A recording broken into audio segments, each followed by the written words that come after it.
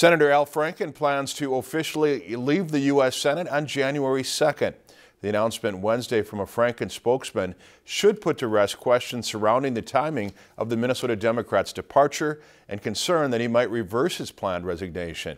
Franken announced earlier this month that he would leave in the coming weeks and several amid several sexual misconduct allegations.